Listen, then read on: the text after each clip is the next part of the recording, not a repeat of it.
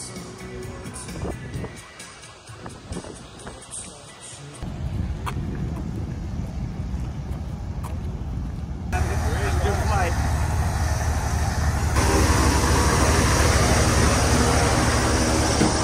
I'm gonna have you go right to the back. There's All some right. headsets. Let's get some seat belts on all the way around for me, please. Anexec Tower, good morning. Airship 157 liftoff. Ready to push back from our mobile mast for a uh, departure towards uh, Universal. A, let's go with the right turnout. As you can see right here, obviously we're un, under the control of the crew. Obviously they're going to uh, push the nose either way that I need to go, left or right, since I have really no wind coming over the control surfaces. They're in control of the ship while we're on the ground. The Beast burns about 15 gallons an hour. So if you do the math, an hour that's about uh about 100 pounds worth of weight that we're going to add on. So today we're going to do about eight bags because obviously the sun's coming out and uh, our lift is going to increase as the day goes on. Let me let me go.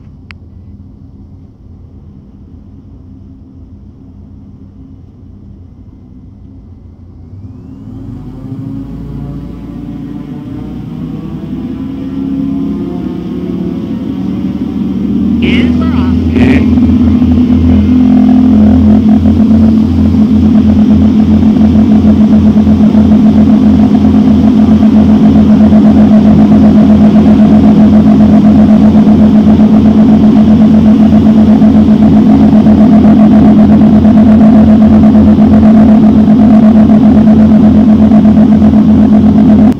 Nice morning for a flight on the subway in the sky. So welcome aboard, everyone. Cesar, how long have you been flying for? I've been flying for about 20, uh, sorry, about 15 years. I've been in the airship uh, world about 25 years. Okay, so you guys are probably asking, can everybody hear me? Yeah. Yeah, okay. You guys are probably saying, why the heck is Subway putting a restaurant in the sky? Um, and why is it called the Beast? So, uh, just to give you a little bit of a story on why we're doing this. Um, Subway's been around for almost 60 years, but about 10 years ago, brands started to get a little stale, like like we like to say. So, started on this journey uh, three years ago, where we decided we needed to improve our menu, improve our guest experience, improve our product. So, three years ago, we launched what we call internally the Big Refresh, which we set out to improve every ingredient pretty much on our menu. We improved our bread, we improved our proteins, we improved um, our add-ons. Last year, we launched what we call the Subway Series menu, which is a menu of signature subs, chef-curated bills. This year, we really have kind of taken it to the next level, um, and we uh, actually put a deli slicer in 21,000 restaurants across the country. So we are freshly slicing our deli meats. And so with that, we introduced a new category on the Subway Series menu, which are called Deli Heroes. Deli Heroes are, we think, the best deli subs that you can get anywhere. We've truly risen above, which is why we're in the beast. And there are four Deli Heroes, which are in your lunchbox. Um, and so we thought, what better way to kind of show the country, show the world that we've made these really significant changes to kind of bring Subway back to the top by creating this amazing restaurant in the sky called The Beast.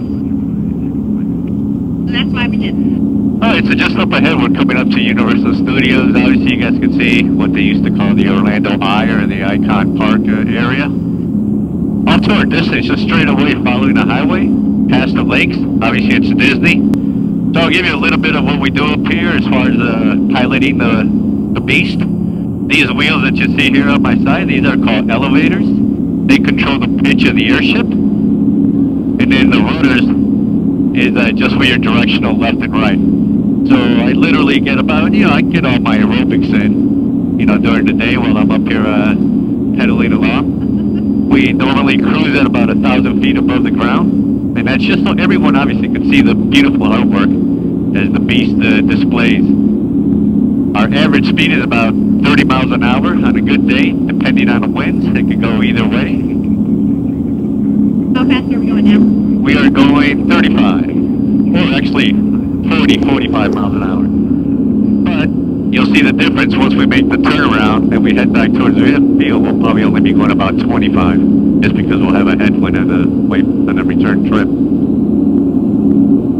So generally, we average about 200 to 300 miles a day. How many certified blimp pilots are there? Is it like a small number since there's a small number of blimps? There is, it is a, a very small number. Uh, our claim to fame is that there's uh, less uh, airship pilots than there are astronauts. So that's our little, uh, our little claim to fame. So right now, I'd say there's probably about currently, besides the Beast, you only have maybe two other airships, three other airships flying in uh, in the U.S. right now. And overseas, there you don't have any. So you're looking at only really three airships in the world right now.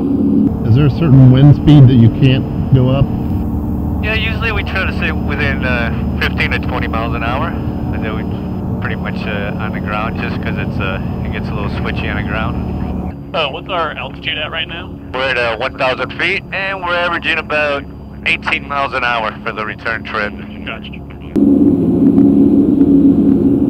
What is in the it uh, helium? It is helium, so if you can see at this porthole right above me, there's like a bladder within the main envelope. So that bladder is filled with air. And then as the helium expands with heat, and then it increases, uh, it contracts with, uh, with coolness or at night, we make up the difference by pumping air into that ballonnet.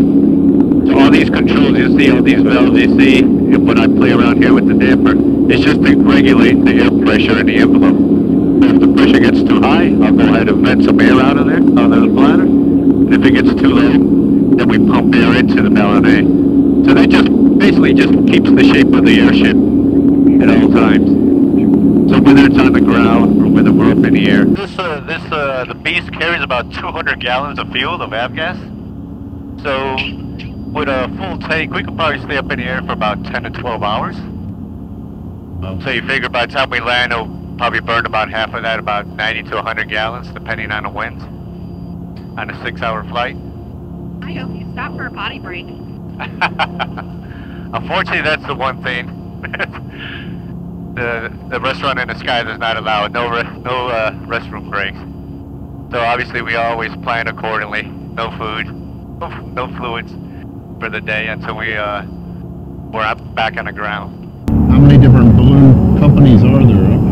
Oh, you mean as far as airships or? Yeah. Well, here in the States, you have uh, Goodyear, of course. They have uh, three airships throughout the country. Obviously, Subway, so that's uh, four. And then there's a new company that's just coming out of uh, San Francisco that's called, I believe it's uh, LTA. It's, they're, uh, they're a new uh, airship company that's trying to kind of break into the, Right. the airship world. No. Three hotel Lima, eight miles of lower full. So as you can see as we come in, it might seem like ants up ahead of us, but uh, they're gonna form a, a V formation, and that's basically just to let me know what the wind is doing on the ground. As we get closer, you'll be able to see the guys coming in towards the ropes to go ahead and uh, catch them. So, so Goodyear actually owns their airships. They're the only company that actually owns airships.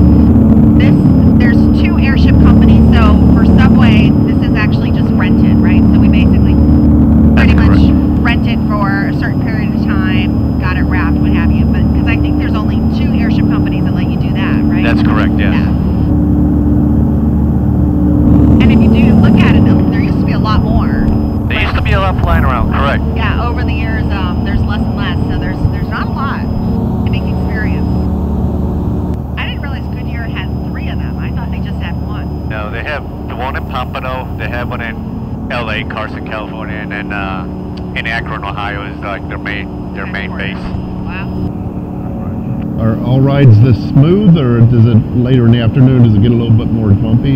You get a little bit, but for the most part, it's been smooth. Yesterday was very smooth, obviously, because we had that uh, cloud uh, layer for most of the day. But they do say morning's the best time to ride. Morning is definitely the best time to ride. Uh, you guys better pick the right time. So you can see one of our uh, one of our crewmen is up on uh, on the mast. So he's going to hook up uh, the cable that's right in front of Alfonso's hands right there, and that's going to help us to keep the nose aligned to the to the mast. All right, guys. Well, thank you so much for joining us on uh, on the Thank subway everybody. airship. Thank you. Thank